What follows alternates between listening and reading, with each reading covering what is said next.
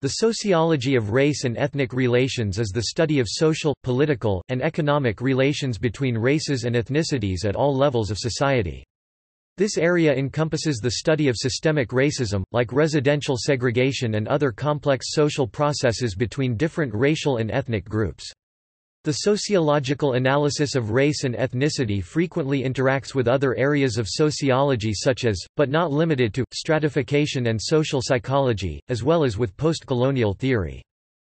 At the level of political policy, ethnic relations is discussed in terms of either assimilationism or multiculturalism. Anti-racism forms another style of policy, particularly popular in the 1960s and 1970s. At the level of academic inquiry, ethnic relations is discussed either by the experiences of individual racial ethnic groups or else by overarching theoretical issues. Topic: Classical theorists. Topic: Marx. Marx described society as having nine great classes, the capitalist class and the working class, with the middle classes falling in behind one or the other as they see fit. He hoped for the working class to rise up against the capitalist class in an attempt to stop the exploitation of the working class. He blamed part of their failure to organize on the capitalist class, as they separated black and white laborers. This separation, specifically between blacks and whites in America, contributed to racism. Marx attributes capitalism's contribution to racism through segmented labor markets and a racial inequality of earnings. Weber Weber laid the foundations for a micro-sociology of ethnic relations beginning in 1906. Weber argued that biological traits could not be the basis for group foundation unless they were conceived as shared characteristics. It was this shared perception and common customs that create and distinguish one ethnicity from another. This differs from the views of many of his contemporaries who believed that an ethnic group was formed from biological similarities alone apart from social perception of membership in a group. W. E. B. Du Bois W. Du Bois is well known as one of the most influential black scholars and activists of the 20th century. Du Bois educated himself on his people, and sought academia as a way to enlighten others on the social injustices against his people. Du Bois research revealed the Negro group as a symptom, not a cause, as a striving, palpitating group, and not an inert, sick body of crime, as a long historic development and not a transient occurrence. Du Bois believed that black Americans should embrace higher education and use their new access to schooling to achieve a higher position within society. He referred to this idea as the talented tenth. With gaining popularity, he also preached the belief that for blacks to be free in some places, they must be free everywhere. After traveling to Africa and Russia, he recanted his original philosophy of integration and acknowledged it as a long-term vision. Booker T. Washington Booker T. Washington was considered one of the most influential black educators of the 19th and 20th centuries. Born in 1856 as a slave in Virginia, Washington came of age as slavery was coming to an end. Just as slavery ended, however, it was replaced by a system of sharecropping in the South that resulted in black indebtedness. With growing discrimination in the South following the end of the Reconstruction era, Washington felt that the key to advancing in America rested with getting an education and improving one's economic well-being, not with political advancement. Consequently, in 1881, he founded the Tuskegee Institute, now Tuskegee University, in order to provide individuals with an education that would help them to find employment in the growing industrial sector. By focusing on education for blacks, rather than political advancement, he gained financial support from whites for his cause. Secretly, however, he pursued legal challenges against segregation and disfranchisement of blacks. Modern theorists Patricia Hill Collins Patricia Hill Collins is currently a Distinguished University Professor Emerita at the University of Maryland, College Park. She received her Ph.D. in sociology in 1984 from Brandeis University. Collins was the president-elect for the American Sociological Association, where she was the 100th president and the first African American woman to be president of the organization. Collins is a social theorist whose work and research primarily focuses on race, social class, sexuality, and gender. She has written a number of books and articles on said topics. Collins' work focuses on intersectionality, by looking at issues through the lens of women of color. In her work, she writes, First, we need new visions of what oppression is, new categories of analysis that are inclusive of race, class, and gender as distinctive yet interlocking structures of oppression. Eduardo Bonilla Silva Eduardo Bonilla Silva is currently a professor of sociology at Duke University and is the 2018 president of the American Sociological Association. He received his PhD in 1993 from University of Wisconsin-Madison, which is where he met his mentor, Professor Charles Camic, of which he said, Camic believed in me and told me, just before graduation, that I should stay in the States as I would contribute greatly to American sociology. Bonilla Silva did not start off his work as a race scholar, but originally was trained in class analysis, political sociology, and sociology of development globalization. It was not until the late 1980s when he joined a student movement calling for racial justice at the University of Wisconsin that he began his work in race. In his book, Racism Without Racists, Bonilla Silva discusses less overt racism, which he refers to as new racism, which disguises itself under the cloak of legality, in order to accomplish the same things. He also discusses color-blind racism, which is essentially when people go off the basis that we have achieved equality and deny past and present discriminations. Topic: Social psychology. One of the most important social psychological findings concerning race relations is that members of stereotyped groups internalize those stereotypes and thus suffer a wide range of harmful consequences. For example, in a phenomenon called stereotype threat, members of racial and ethnic groups that are stereotyped as scoring poorly on tests will perform poorer on those tests if they are reminded of this stereotype. The effect is so strong that even simply asking the test taker to state her or his race before taking the test such as by bubbling in African American on a multiple-choice question will significantly alter test performance.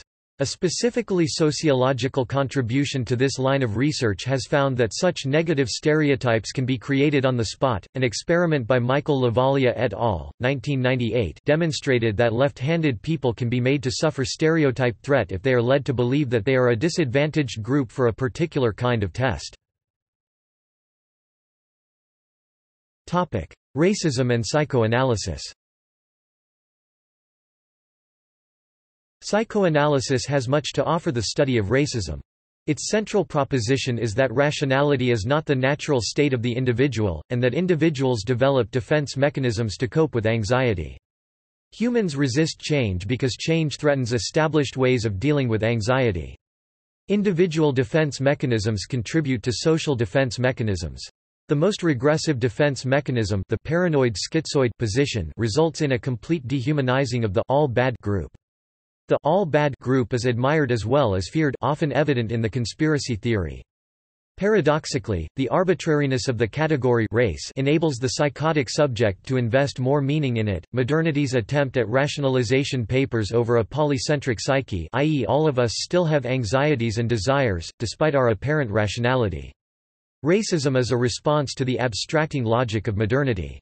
The rationality of Western, white society is defined in opposition to the animality of black, primitive society. Some psychoanalytic theorists also argue that passionate anti-racism can produce psychological states analogous to racism.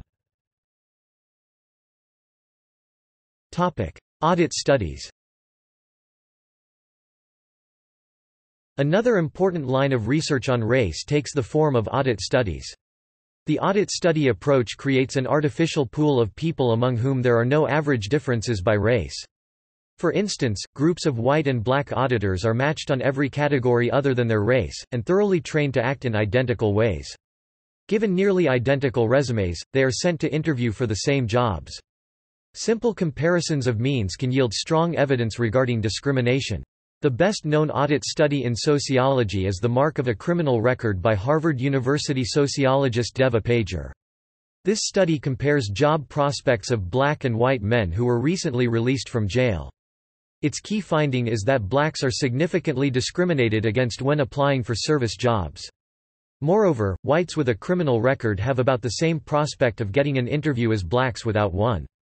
Another recent audit by UCLA sociologist S. Michael Gaddis examines the job prospects of black and white college graduates from elite private and high-quality state higher education institutions. This research finds that blacks who graduate from an elite school such as Harvard have about the same prospect of getting an interview as whites who graduate from a state school such as UMass Amherst. Discipline development by country United States In the United States, the study of racial and ethnic relations has been widely influenced by the factors associated with each major wave of immigration as the incoming group struggles with keeping its own cultural and ethnic identity while also assimilating into the broader mainstream American culture and economy. One of the first and most prevalent topics within American study is that of the relations between white Americans and African Americans due to the heavy collective memory and culture born out of and lingering from centuries of forced slavery in plantations. Throughout the rest of American history, each new wave of immigration to the United States has brought another set of issues as the tension between maintaining diversity and assimilating takes on new shapes. Racism and conflict often rears up during these times. However, some key currents can be gleaned from this body of knowledge. In the context of the United States, there is a tendency for minorities to be punished in times of economic, political and or geopolitical crises. Times of social and systemic stability, however, tend to mute whatever underlying tensions exist between different groups. In times of societal crisis, whether perceived or real, patterns or retractability of American identities have erupted to the fore of America's political landscape. Notable and infamous examples can be seen in Executive Order 9066 that placed Japanese Americans in incarceration centers as well as the 19th-century Chinese Exclusion Act that banned Chinese laborers from emigrating to the United States local workers viewed Chinese laborers as a threat. Current examples include post-9-11 backlash against Muslim Americans, although these have taken place in civil society, not through public policy. Topic United Kingdom In the United Kingdom, foreign nationals were actively encouraged and sponsored to migrate in the 1950s after the dissolution of the empire and the social devastation of the Second World War. The 1962 Commonwealth Immigrants Act changed the law so that only certain British Commonwealth members were able to migrate. This law was tightened again with the Commonwealth Immigrants Act 1968 and Immigration Act 1971.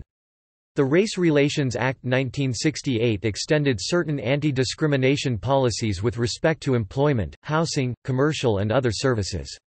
This was extended again with the Race Relations Act 1976. As with the UK establishments of media and cultural studies, ethnic relations is often taught as a loosely distinct discipline either within sociology departments or other schools of humanities. Major British theorists include Paul Gilroy, Stuart Hall, Richard Jenkins, John Rex, Michael Banton and Tariq Modood. Topic see also topic References topic Further reading Banton, M. 1987. Racial Theories. Cambridge, Cambridge University Press. Ellis, J. 2011. Race Relations, Culture and Ethnicity. Usarizeup Feagin, J. 2003. Racial and Ethnic Relations. Prentice Hall 8th edition Gibson, Robert, 1978. Booker T. Washington and W. E. B. Du Bois, The Problem of Negro Leadership. Yale Jenkins, R. 2008. Rethinking Ethnicity. London, Sage 2nd edition. Maleševič, S. 2004. The Sociology of Ethnicity. London, Sage. OMI, M. and Winant, H. 1986. Racial Formation in the United States. New York, Routledge Vera, H., Feagin, J. 2007. Handbook of the Sociology of Racial and Ethnic Relations. Springer Wilson, H. 2006. The Sociology of Racial and Ethnic Relations. Bryant Zuckermann, Ghil'ad et al., 2015, Engaging, A Guide to Interacting Respectfully and Reciprocally with Aboriginal and Torres Strait Islander People, and Their Arts Practices and Intellectual Property, Australian Government, Indigenous Culture Support.